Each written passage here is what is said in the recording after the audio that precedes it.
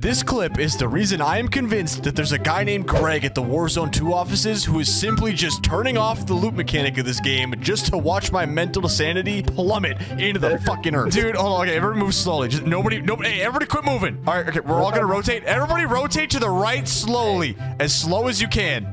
One of us is bound to get it. Oh, oh my god, dude! Fuck this game, man!